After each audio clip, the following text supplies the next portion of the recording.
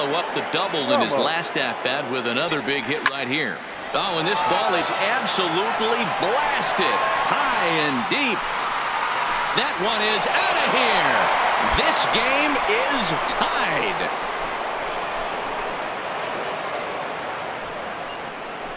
Solo shot to right center, and we are tied again.